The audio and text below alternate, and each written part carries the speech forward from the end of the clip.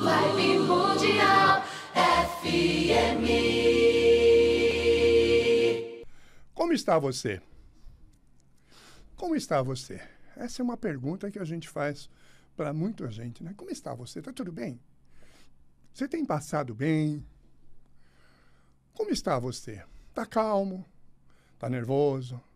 Está sentindo algum desconforto no corpo? Está com o corpo bacana? É uma coisa que, de vez em quando, ou quase todo dia, né, gente? Eu acho que a gente deve perguntar, deve se auto-analisar. Né? Fazer uma autoanálise. Como eu estou? Aí vai vir a resposta. Ah, estou meio, meio deprê. Né? Então, é, como médico e psicólogo, aí eu faço o que com o meu paciente, né? Ah, tá meio deprê? O que está acontecendo na sua vida? Você pergunta para você, o que está acontecendo na minha vida que está me deixando assim? Né? Vai vir uma resposta. Ah, não, não sei. Não, não começa assim. Creia, se você fizer uma pergunta para você, vai vir uma resposta. Se essa resposta não vier na hora, daqui a pouco ela vem, sobe. Ou numa visãozinha, ou você ouve alguma coisa, alguma coisa vai acontecer que você vai ver o que é que está fazendo mal para você. O que é que está deixando você em desarmonia? Né? O que é que está fazendo você perder o sono? Uh, muitas vezes, no consultório, eu vejo pessoas que nunca fazem essa pergunta para si. Vão vivendo, vão vivendo, vão vivendo. A grande maioria é assim. Mas não pode, a gente não pode ir vivendo. Você, você vai comer alguma coisa, você não pega lá o seu garfo experimenta e fala, pô, tá gostoso, tá muito bom. Pô, não tá bom isso. O que, que eu posso fazer? Pôr mais sal, pôr mais tempero, tirar o sal, tirar o tempero, alguma coisa você vai fazer. Entendeu? Se você tem alguma coisa lá, um carro, como é que está meu carro? A gente se importa. Como é que está o meu carro? Né? A gente se importa com isso. O que está fazendo esse barulho? Aí você vai lá atrás, ou vai no mecânico, para achar o barulho que está no seu carro. Se você tem um animalzinho, você olha para o animalzinho e fala, será que ele está feliz? Como é que ele está? Né? Por que, que eu quero. O que, que eu quero dizer com isso? Quero dizer o seguinte: o que é fora da gente, a gente pergunta. É o carro, é o animalzinho, são os relacionamentos, é a marido, é a esposa, são os filhos. A gente fica de olho, de olho, para ver o que está mal, o que, que não está bem. E aí a gente chega perto e tal, e tenta arrumar isso, ajudar isso. Né? Todos nós somos assim, nós somos seres humanos, né? Nós nos importamos muito com os outros. O que eu estou sugerindo para você hoje, estou te lembrando, na verdade, porque isso você já sabe, te lembrando que você precisa fazer a mesma coisa com você. Parar lá um minutinho, dois minutinhos, olhar para você. Né? Quem faz terapia, faz isso uma vez por semana ou duas vezes por semana. A hora que senta na cadeira da terapia, começa a falar de si começa a falar dos seus sentimentos, começa a falar das suas dores, começa a falar das suas faltas, começa a falar da sua alegria, começa a falar de si. Agora, quem não faz terapia precisa fazer essa autoanálise. Autoanálise. Como você faz com as pessoas, ou com as coisas, ou com os animais que estão ao seu lado. Pode prestar atenção que você faz. Como médico há muitos anos, eu tenho prática disso. Por quê? Porque as pessoas falam: nossa, o meu carro está com isso, está com aquilo, meu cachorrinho não sei o quê, meu gatinho não sei o quê.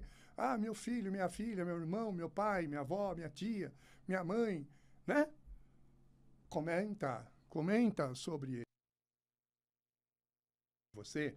Vamos comentar de você. Vamos dizer para você como você está. E perguntar para você por que, que você está assim? Né? Por que, que eu estou assim, tão ansioso? Para e pensa um pouco, deixa vir uma ideia. Ah, estou muito ansioso porque estou com uma dificuldade financeira muito grande. Bom, hoje o brasileiro, né, o mundo, né, está com dificuldade financeira. E não adianta, gente. É, não dá para ficar lá assim, ah, o mundo está assim, então vou cruzar meus braços e vou ficar aqui esperando a vida melhorar. Não, não dá. Você pode tropeçar, cair, né? Não dá. Então você faz o quê? Você vai tentar solucionar isso. Aí você veio lá a resposta para você. Ah, o meu problema é o financeiro. Aí, como é que eu faço para melhorar isso? Como é que eu faço para mudar isso? Como médico, eu vejo isso muito frequentemente, as pessoas não uh, se auto-analisando, se auto-percebendo e procurando mudanças, né? Mudanças para quê? Mudanças para melhorar. Então, você pergunta, pô, meu problema é financeiro, tá, legal. O que, que eu faço para mudar isso? Né? O que, que eu faço para mudar isso? Quando a minha, agora é pessoal, tá? Quando a minha dificuldade financeira se acentuou por causa da pandemia, diminuiu o número de pacientes no consultório, isso aconteceu com muitos médicos que eu conheço aqui em São Paulo, colegas que até fecharam é, consultório, até fecharam consultório, principalmente os que trabalhavam para convênio, acabaram fechando os consultórios, né? Por quê? Porque não tinha dinheiro. Então, uma solução que ele achou é: vou fechar o consultório para diminuir a vazão da economia que eu tenho. Não vou gastar minha economia para manter o consultório. Então, fechou o consultório. Comigo, pessoal, o que, que eu fiz? Né? Começou a diminuir o número de pacientes, diminuir o número de pacientes de convênio, o particular no, no, no consultório não é tanto que, que eu fiz? Fui estudar mais uma coisa, fiz mais uma especialização, que é a possibilidade de eu prescrever a cannabis medicinal. Fiz o curso para eu prescrever a cannabis medicinal. Né? Em outras vezes, fui fazer acupuntura, outras vezes, fui fazer ozonioterapia. Eu estou sempre buscando uma saída, gente. Então, eu estou falando mesmo do coração e de mim. Eu estou sempre buscando uma saída. Quando eu levanto, puxa, o que está ruim? Ah, ah, não é o financeiro, é a questão do meu relacionamento. Eu vou lá sentar com a minha esposa, com a minha mulher, e vou tentar conversar com ela, para a gente ver se melhora o nosso relacionamento. E normalmente melhora. Quando a gente abre o coração, o outro também acaba abrindo o coração, né? sem briga, né, gente? A gente precisa fazer isso sem briga. É um pouco difícil, mas a gente precisa fazer isso sem briga. Né? E um abre o coração, o outro abre o coração e a gente encontra né, um, um campo ali em que os dois podem transformar alguma coisa em si, nas suas atitudes, né? No seu jeito de se relacionar. E aí o relacionamento fica melhor. É verdade, o relacionamento fica melhor.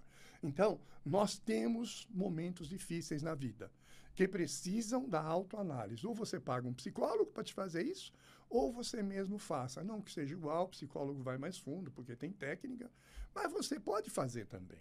Você pode fazer também. Faça a sua autoanálise. Veio qual é o problema? Pergunta para você o que você pode fazer. Então, é uma sugestão. Se você perguntar para você o que você pode fazer, a resposta vem. Se não for na hora, daí alguns minutos, daí algumas horas, a resposta vem. Porque você tem dentro de você, como eu, a, aquela, aquela força de autopreservação, de viver bem. Nós somos assim. Deus nos criou assim. Nós somos assim. A, a, a força para nos transformarmos em algo melhor, né? melhorar nossa qualidade de vida. Isso todos nós temos, né, Jean? Com certeza, todos nós. Se você está mal, está para baixo, Jean é meu companheiro aqui. Uh, você está para baixo, você não vai perguntar para você o que, que eu posso fazer? Tem que perguntar. Eu acho que tem muita gente aí fora que não faz, por isso que eu estou falando aqui na rádio. Por isso que eu estou fazendo esse, esse, esses 12, 15 minutos aqui, para alertar você. Precisa fazer a autoanálise se você não quer ir para uma terapia, né? E, de, de repente, a resposta que vem é procurar um médico, procurar um psicólogo, tomar um remédio, tomar uma erva. Né? Tem muita coisa que você pode fazer. Fazer ozônio, tomar uh, cannabis medicinal. Cannabis medicinal, gente, é um, uma coisa tão fantástica como é o ozônio, como é a acupuntura, que é um mundo paralelo da medicina tradicional nossa, né? É uma, a cannabis é uma coisa tão fantástica, gente, que eu, nesse tempo que eu estou prescrevendo aí, uns 150 pacientes, eu já vi tanta gente melhorar, mas melhorar de dor forte, crônica, de processos emocionais violentos. A cannabis está numa proporção de benefício igual a penicilina lá para os 1950, mais ou menos, né? As pessoas morriam de qualquer infecção. Quando chegou a penicilina, né, muita coisa começou a ser tratável e tratada. Então, a cannabis, quando chegou, muita coisa está podendo ser tratado e as pessoas têm uma melhora com a cannabis medicinal, que não tem nada a ver com a maconha. É uma outra técnica, é uma forma diferente de usar. A gente usa em gotinha na boca, né? Não tem efeito colateral, não tem dose letal, isto é, não tem dose que mata e não tem dose que dá dependência. Você pode tomar todos os vidrinhos lá de uma vez que você não vai ficar dependente. Olha que coisa maravilhosa. E também não dá aquela aquela nuvem, aquele barato, né, que a maconha dá. OK? Então, tudo de bom, gente tudo de bom. Fica com essa mensagem. Autoanálise, a forma de você viver melhor, sair daquela coisa escura que você está vivendo, tá? Um grande abraço para você, até o nosso próximo encontro. Até lá. Vibe Mundial